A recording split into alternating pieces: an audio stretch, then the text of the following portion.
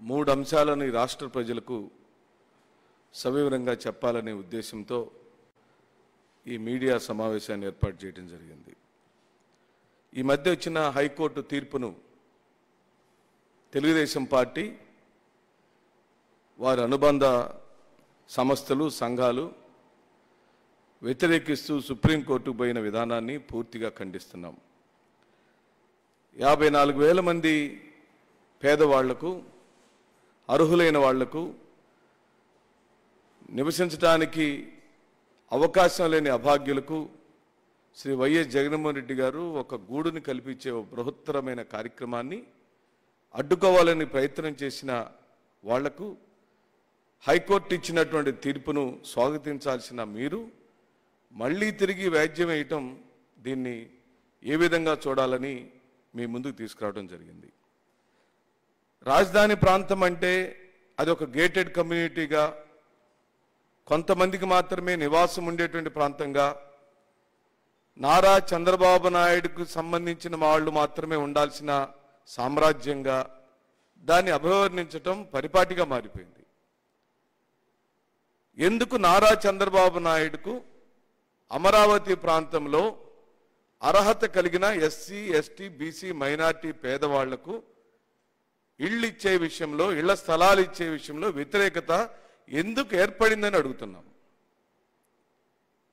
పేదవాళ్ళంటే ఇళ్ళలో పనిచేయడానికే పనికొస్తారని పేదవాళ్ళంటే పని మనుషులుగానే ఉండాలని వాళ్ళకి ఊరి చివరగానే మాత్రమే నివసించాలనే అంటరాని తనాననే పదాన్ని పూర్తిగా నారా చంద్రబాబు నాయుడు ఇప్పుడు దాన్ని ఓన్ చేసుకొని ఆ అమరావతిని అంటరాని అమరావతిగా ఆయన మార్చేశాడు.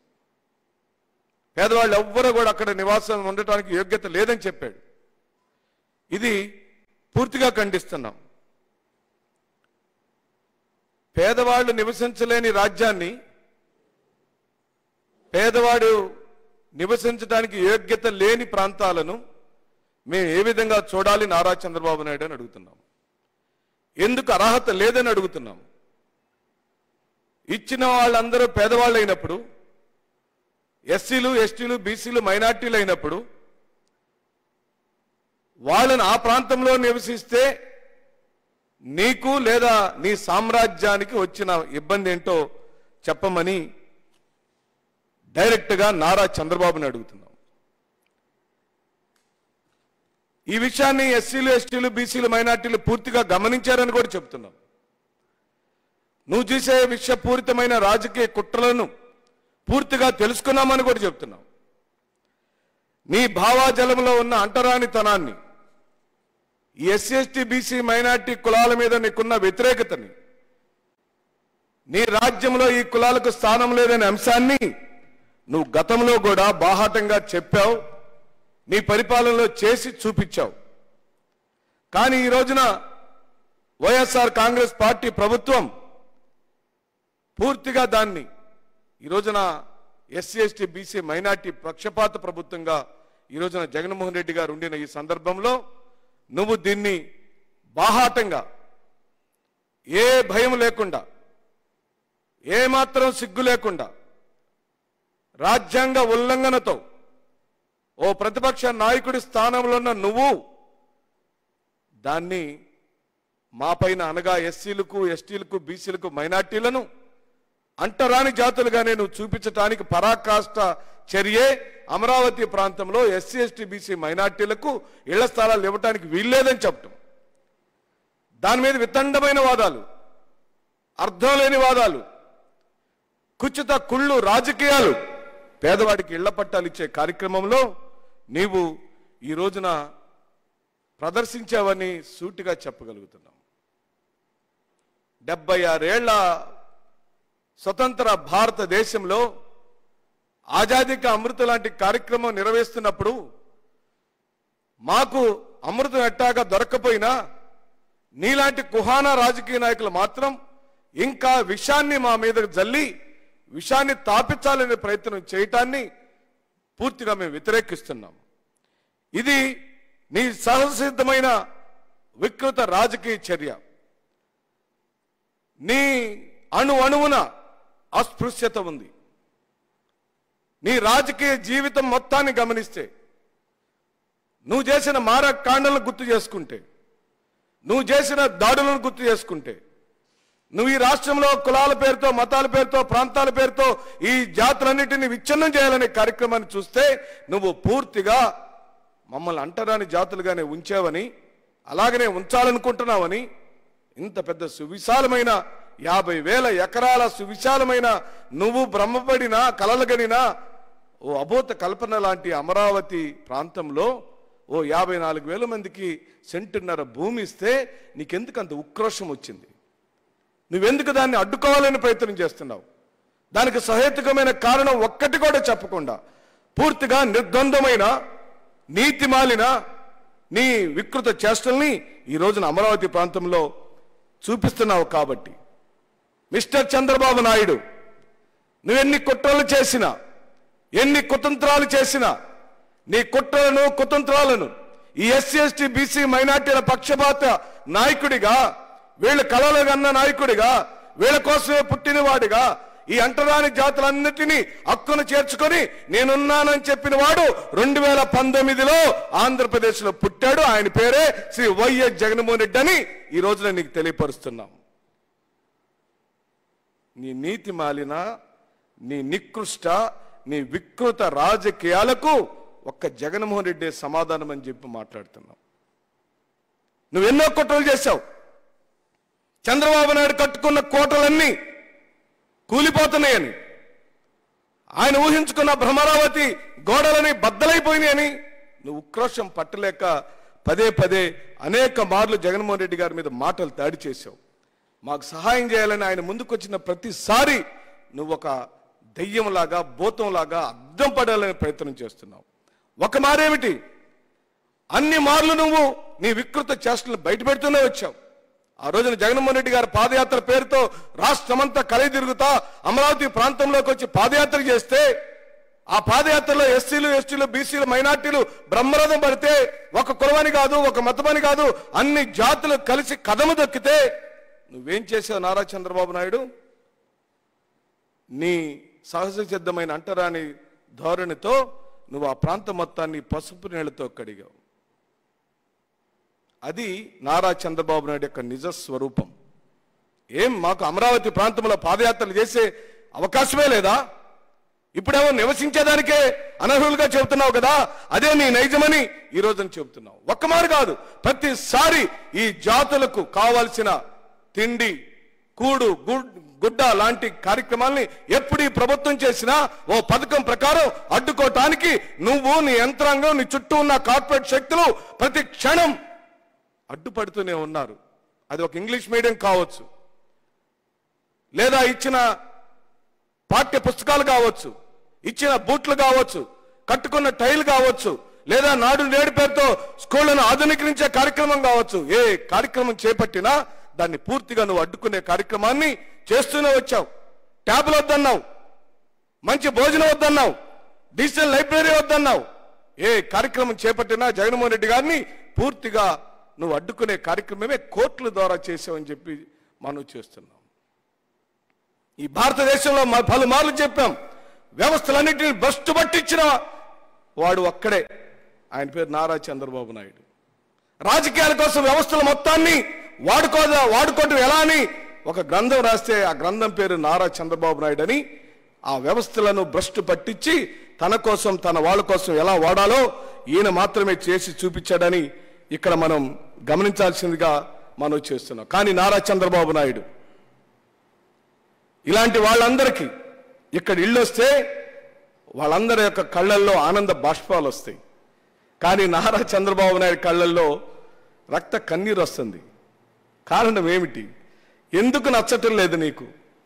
ఓ పెద్ద ఆకాశాన్ని కట్టే ఆహార్యాలని నిర్మించినప్పుడు ఓ రాజ్య సౌధంలాగా ఓదొక రాజ్యంలాగా ఆ గేటెడ్ కమ్యూనిటీలోకి నరమానవుడు కూడా ఎవరు ప్రవేశించకూడదని ఈ జాతులన్నీ ఇంకా అడుక్కుంటూనే ఇళ్ళలో పని చేసుకుంటూనే పాచి పని చేసుకుంటూనే చదువు లేకుండా నిరక్షరాస్యులుగా ఉండాలని నీ కుట్టిల రాజకీయ వైఖరికి పులుస్టాప్ పడిందని వైఎస్ జగన్మోహన్ రెడ్డి గారు పులి స్టాప్ పెట్టాడని నీ ఉక్రోషం అంతా. అందుకే ఈ రోజున ఆ యాభై నాలుగు వేల మందికి ఇళ్ళ పట్టాలు ఇచ్చే కార్యక్రమాన్ని ఈ నన్ను అడ్డుకోవాలని చూసావు ఈ రోజు నేను అడుగుతున్నా నిన్న జగన్మోహన్ రెడ్డి గారు ప్రారంభించిన ఒక చరిత్రాత్మకమైన ఘట్టం.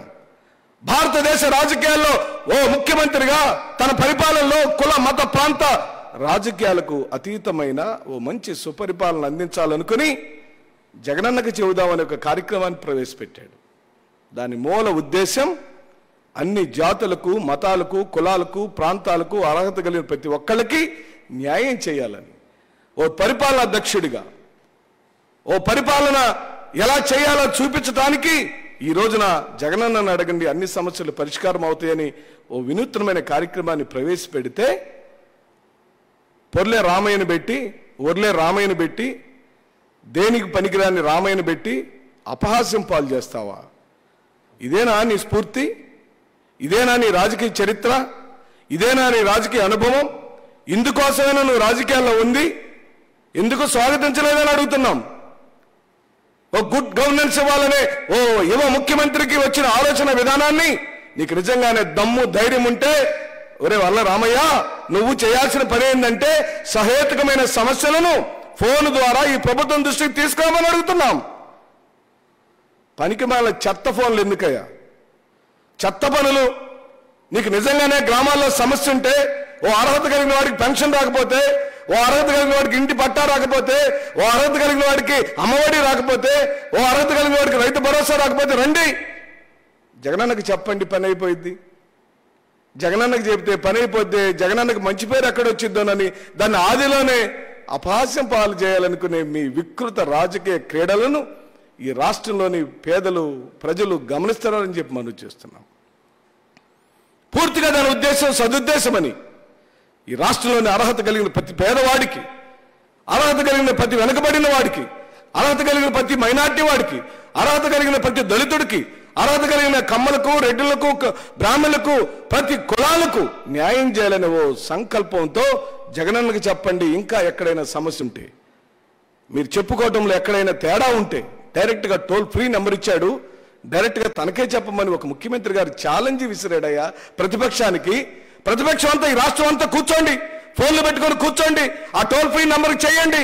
ఎక్కడ సమస్య ఉంటే చెప్పండి. మీకు చెప్పటానికి సమస్యలు లేవు కాబట్టి ఆ సమస్యల విలువ శాతం తక్కువ కాబట్టి ఈ రోజున చీప్ రాజకీయాలు చేశారు. బజారు స్థాయి రాజకీయాలు చేశారు. ఓ గ్రామ స్థాయి నాయకుడు కూడా ఆ విధంగా ప్రవర్తించడు. ఈ రోజున స్వయాన తెలుగుదేశం పార్టీ రాష్ట్ర కార్యాలయంలో కూర్చొని ఈ విధంగా చేయటం మేము తప్పుపడుతూ గేలి చేయటం అవహేళన చేయటం గౌరవ ముఖ్యమంత్రి యొక్క ఉద్దేశాన్ని తక్కువ చేసి చూపించటం ఇది పూర్తిగా అనైతికమని మరి తెలుగుదేశం పార్టీకి ఈ రోజున అవకాశం ఉన్న మేరకు మంచి ప్రెస్ మీట్లు పెట్టండి. అవకాశం ఉన్నందుకు ప్రజలకి ఈ ప్రభుత్వానికి మేలుగరిగే కార్యక్రమం ప్రతి ప్రెస్ మీట్ మేము స్వాగతిస్తున్నాం. ఇదేమి చెప్తారా ప్రెస్ మీట్లు? ఈ అవహేళన ఏంటి ఈ అపహాస్యం ఏమిటి? ఈ చవట దొద్దమ్మల పనులు ఏమిటి? పనికి మళ్ళీ చెత్త గాడిదలు చేసే పనికే కదా మీరు చేస్తున్నారు?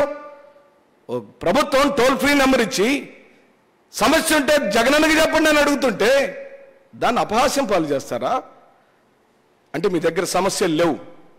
ఎందుకంటే సచివాలయ వ్యవస్థ వాలంటరీ వ్యవస్థ పరిపాలనా దక్షుడిగా ఏ చిన్న కుగ్రామానికి పోయినా ఈ రోజున గడప గడపకు మేము తిరుగుతున్నప్పుడు ప్రతి చోట జగన్మోహన్ రెడ్డి గారు ఉన్నాడు. ఒక వాలంటరీ రూపంలో ఉన్నాడు. ఒక గృహ సారథి రూపంలో ఉన్నాడు.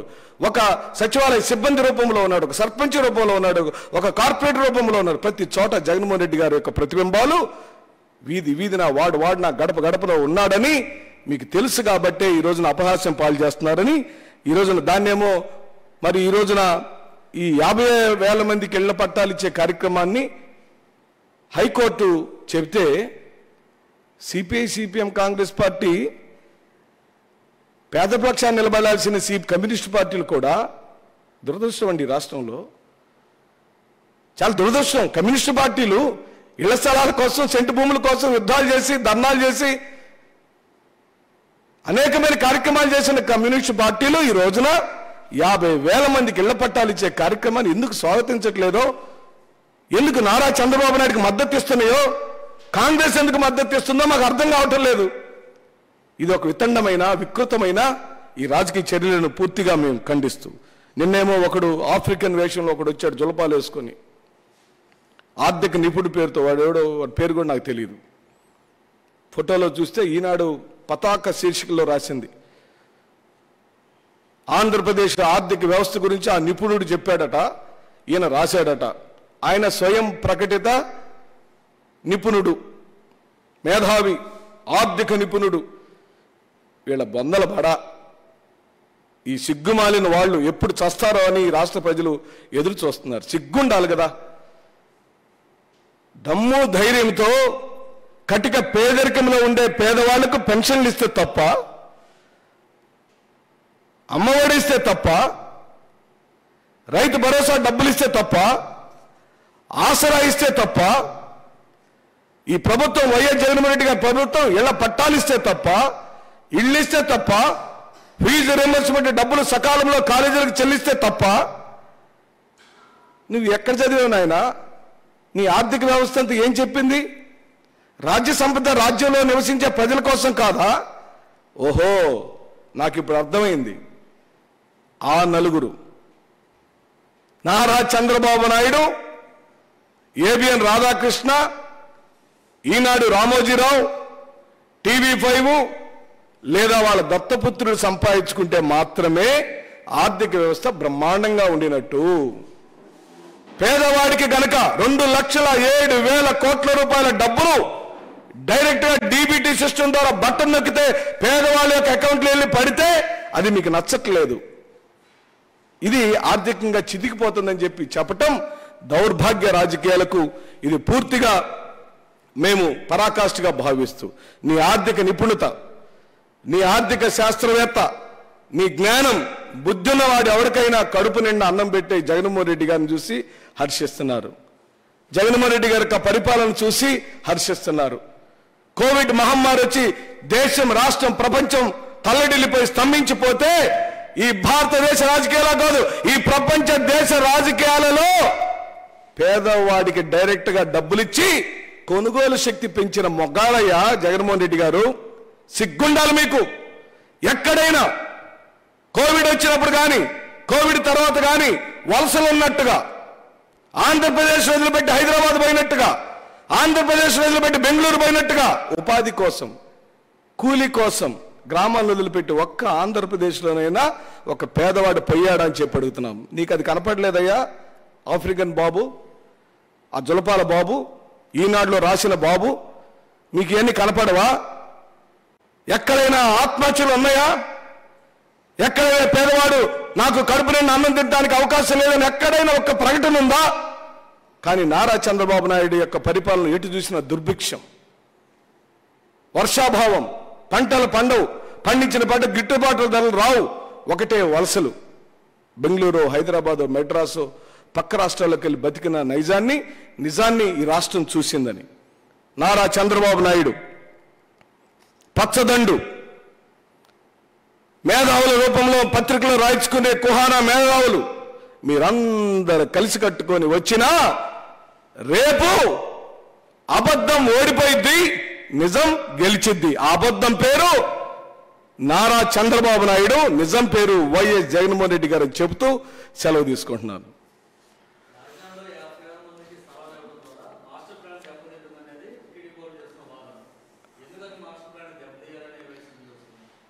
అసలు మాస్టర్ ప్లాన్ అనేది ప్రజల అంగీకారంతో ఏర్పాటు చేయబడిందా? నారా చంద్రబాబు నాయుడు లేదా కార్పొరేట్ శక్తులు లేదా రియల్ ఎస్టేట్ వ్యాపారస్తులు లేదా ఆ భూములను కొనుగోలు అమ్మకాలు చేసినటువంటి బడా బాబులు చేసుకున్న పంపకాల. అది తేల్చండి ముందు. ఆ మాస్టర్ ప్లాన్ అనేది ప్రజా అంగీకారంతో ప్రజా రాజధానిగా ఉండాలని మేము కోరుకున్నాం. అది లేదు. ఒక రోడ్డు కూడా లేదు అక్కడ. ఇప్పుడేమో ఎస్సీ ఎస్టీ బీసీ మైనార్టీలకు ఒక సెంటున్నారు భూమి ఇస్తానంటే హర్షించాలి కదా స్వాగతించాలి కదా. ప్రజానాయకులు ఎవరైనా దాన్ని స్వాగతించి గౌరవ ముఖ్యమంత్రిని అభినందించాల్సిన వాళ్ళు మాస్టర్ ప్లాన్ దెబ్బతింటుంది సోల్ దెబ్బతింటుంది. అసలు రైతులు అడ్డుకోవటం ఏంటండి? ఎక్కడన్నా ఉందా ఈ సోద్యం? ఇది పూర్తిగా అసంబద్ధం అన్యాయం.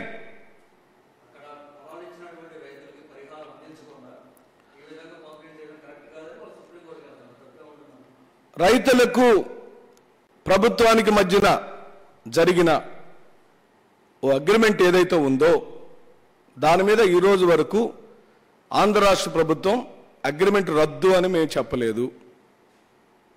అగ్రిమెంట్ లైవ్లోనే ఉంది. ప్రభుత్వానికి భూమిని హ్యాండ్ చేసినప్పుడు ఆ ప్రాంతంలో ప్రభుత్వం తనకు నచ్చిన విధంగా తన రాజ్య పరిపాలన అంతర్భాగంగా ముఖ్యమంత్రి పరిపాలనా దక్షతతో భూమిని వినియోగించుకునే హక్కు రాజ్యాంగపరంగా ప్రభుత్వానికి ఉంది.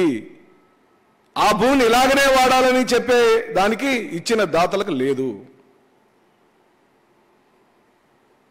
ఇప్పుడు ఆల్రెడీ ఆ పదకొండు వందల ఎకరాల మీద రైతులు ఆందోళన చేస్తున్నారు అది కాదని మళ్ళీ రెండు వందల యాభై రెండు వందల నలభై ఎకరాలు మళ్ళీ ఇవ్వకుంటే రాజధానిని పూర్తిగా విచ్ఛిన్నం చంపేసే ప్రయత్నంలో భాగమైనది మే- మే- మేము మళ్ళీ చెప్తున్నాం. అమరావతిలో శాసన రాజధాని ఉంటుంది ఉండి తీరుతుంది బిడ్డల బిడ్డల తరం ఉంటుంది. విశాఖపట్నంలో పరిపాలనా రాజధాని ఉండాలి. రాయలసీమ కర్నూల్లో న్యాయ రాజధాని ఉండాలి. అది ఈ ప్రభుత్వం యొక్క వైఖరి. దీన్ని స్పష్టం చేశాము. సరైన సమయంలో మంచి బిల్లుతో మళ్ళీ శాసనసభలో ప్రవేశపెడతారు. ఆ విషయంలో ఎలాంటి అనుమానాలకు తావులేదు ఇప్పటికే గౌరవ ముఖ్యమంత్రి గారు ఫలానా నవంబర్ నుంచి అనుకుంటా బహుశా. నేను విశాఖపట్నంలో నివసించబోతున్నాను అని ప్రకటించారు సెప్టెంబర్ నుండి. మేమేం కన్ఫ్యూజన్లో లేము. మా వైఖరి మూడు రాజధానులు మూడు ప్రాంతాల అభివృద్ధి మూడు ప్రాంతాల్లోని ప్రజలు సస్యశ్యామలంగా వాళ్ళ భూములకు విలువ పెంచుకొని అందరూ సుభిక్షంగా ఉండాలన్నదే ఈ ప్రభుత్వం యొక్క ఉద్దేశము. ఆ ఉద్దేశంలో మార్పు లేదు. Thank you